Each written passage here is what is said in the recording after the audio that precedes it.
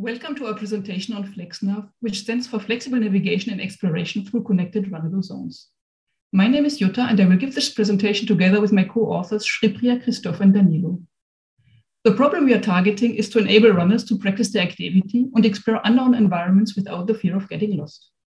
Indeed, runners want to practice their activity anytime and anywhere, exploring and discovering new paths. However, they often refrain from doing so because they fear getting lost. When studying prior art and existing systems that support running in unknown environments, we identified two opposite types of approaches. The first proposing fully pre-planned tours with turn-by-turn navigation support to follow them. The second, not pre-planning any tour, but providing the user with dynamic decision support to choose the path during the run. The first has the inconvenience of not giving any freedom to the runner, who has to strictly follow a path from start to end. However, it has the advantage that through the full turn-by-turn guidance, it avoids that the runner gets lost in an unknown environment. The second type of approaches does not pre-compute any tour, but lets the runner decide during the run on the path to take by providing dynamic decision support. This support may consist, for instance, of a color-coded visualization of the actual environment, indicating its respective quality for running. The advantage of this approach is that the runner has complete freedom on which path to explore. The inconvenience is that the runner has the cognitive burden to decide where to go and this burden may be more or less important depending on the environment and the number and variability of paths available. Our objective with this work is to propose a new approach to exploratory running in unknown environments. An approach that integrates the advantages of both types of approaches discussed before, namely providing freedom to explore, but with sufficient guidance to avoid getting lost. Therefore, we propose partially specified tours providing runners with access to the best runnable zones in the neighborhood linked together through specif specified connecting paths. We prepared an online survey with a dozen questions to better understand what are the runner's exploratory habits and desires in unknown areas. We collected responses from 139 participants. The survey results confirmed both the appetite of runners for exploration and their instinctive practice of exploring runnable zones. Most runners also shared a lack of such tools uh, supporting the exploration of unknown places and their interest in such support. Aligned with the survey findings, we designed our FlexNav concept. FlexNav proposes running tools linking, linking together the best runnable zones in a neighborhood as analyzed from map features such as greenery, low-level traffic, type of road, etc. It provides adaptive guidance, enabling the runner to follow these tools both precisely in the connecting path with turn-by-turn navigation and more freely within the runnable zones. In these areas, FlexNav will only help runners to stay in and explore the zone, and then to reach the planned zone exit uh, when they wish to. We have implemented a prototype of FlexNav on a Suunto 7 Sport smartwatch a good compromise between a lightweight, commonly used wearable and convenient specifications to develop and test several UI modalities. The runner would get most navigation instructions via headphones and could also consult the watch screen and receive haptic notifications through vibrations. The screen can either display a map with the current position and navigation instructions, if any, or a progress bar that also indicates the next milestone of the tour. We designed our experiment to investigate how to satisfy runners' needs and preferences for running in unknown places. More specifically, we asked Do runnable zones linked by connecting paths with adaptive navigation support satisfy runners' needs better than fully specified tours with strict turn by turn guidance?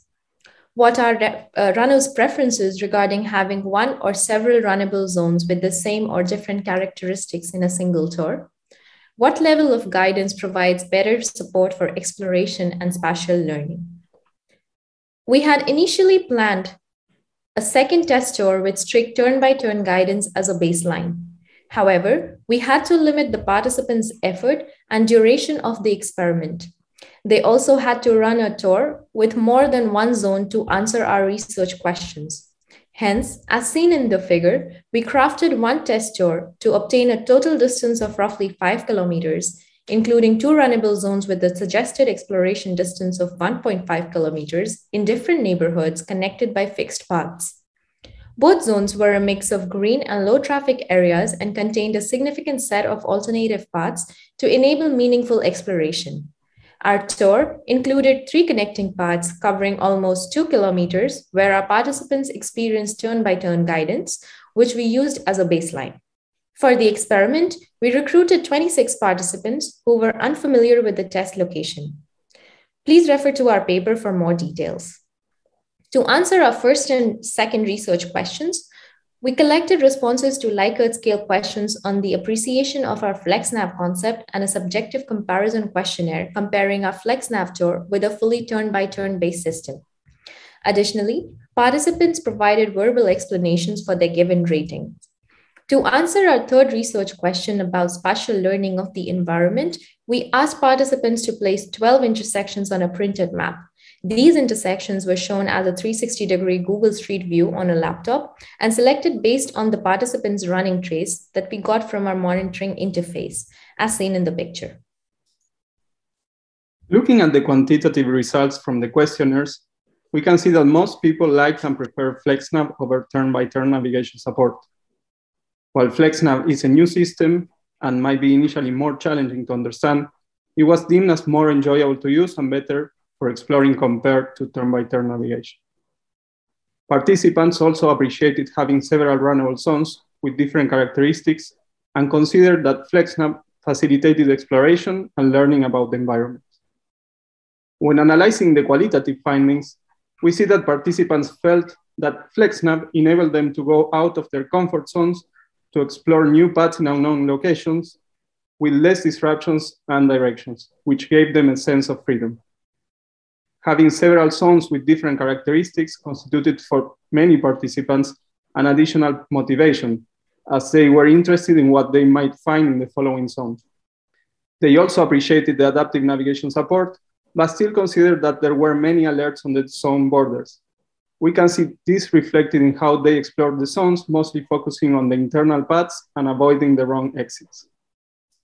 Some interesting questions arise from our findings we understood that it's important to find the right balance between freedom and responsibility. Indeed, flexibility comes at a cost, which is the cognitive burden necessary to take direct decisions. And some would have liked more, less, or even different guidance within the zones.